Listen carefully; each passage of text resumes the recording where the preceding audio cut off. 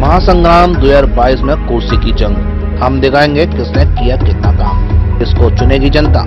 किसकी बनेगी सरकार? जनता से होगी सीधी बात। हर विधानसभा क्षेत्र का लेखा जोखा होगा आपके सामने। किस प्रत्याशी में कितना दम? देखिए सेवन इंडिया न्यूज़ पर।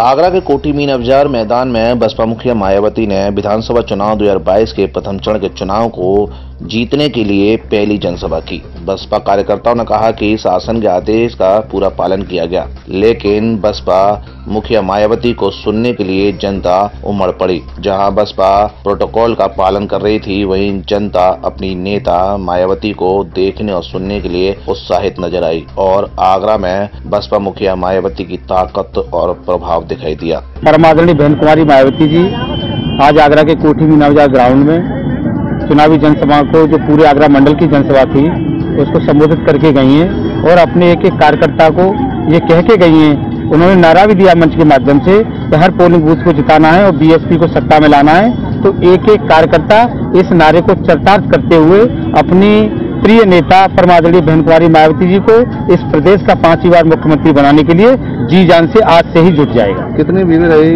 कितनी परमिशन थी?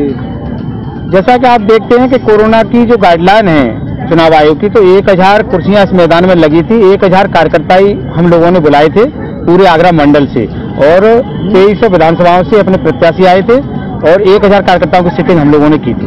देखिए मैं आपको बताना चाहूँगा कि जैसा कि मीडिया की खबर, मीडिया में जो चल रही थी कि बेंजी एक साल से निकल नहीं रही है तो आज बेंजी ने अपने उद्बोधन में बता दिया कि मैं एक साल से क्यों नहीं निकल रही थी। बेंजी ने उत्तर प्रदेश की राजधानी लखनऊ से बैठकर पिछले एक वर्ष में लगातार उत्तर प्रदेश की चार सौ तीन सीटों के प्रत्याशियों को छानने के अलावा पूरे देश में बहुजन समाज पार्टी का जो मिशन चल रहा है उस पर निरंतर लखनऊ से बैठकर उन्होंने काम किया था। जैसा कि उन्होंने बताया कि कल तक वो अपने चार सौ तीन प्रत्याशियों से मुलाकात करके उन्हें अपना प्रत्याशी उन्होंने घोषित अभी जितने हुए हैं जो लिस्ट जारी हुई है लेकिन उन्होंने अपनी लिस्ट फाइनल कर चुकी है। और कल फ्री होने के बाद कल फ्री होने के बाद आज से वो क्षेत्र में अपने प्रत्याशियों को जिताने की अपील करने के लिए जनता के बीच में आ चुके तो आपके सामने दिख ही रहा है जो कितना था जो एक हज़ार लोगों की हमारे को परमिशन दी थी इस सरकार ने उसके बावजूद भी है हज़ारों की संख्या में लोग इस पंडाल के बाहर उपस्थित थे। और जब बहन जी ने बोला कि ये आगरा दलितों की राजधानी है जैसे ही उन्होंने ये शब्द बोला तो आपको दिखा होगा यहाँ पे कि जो यूथ था यहाँ पे।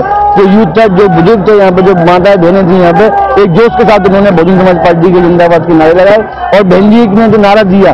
हर पोलिंग बूथ को जिताना है और बसपा को सत्ता में लाना है।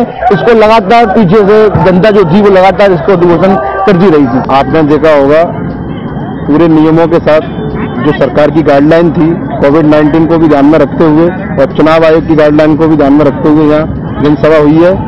और जनसभा के मुख्य अतिथि माननीय बहन कुमारी मायावती जी रही है। यहाँ लोग बागों ने संकल्प लिया है पांचवी बार माननीय बहन जी मुख्यमंत्री बनेंगे। क्या संदेश दे के गई है कैसा पूरा मामला रहा था? संदेश बहुत अच्छा है और जनता में उत्साह है। पांचवी बार माननीय बहन जी को मुख्यमंत्री बनाना है। दस तारीख को सभी लोग अपने बूथ से वोट करेंगे और माननीय बहन जी की सरकार बनाएँगे।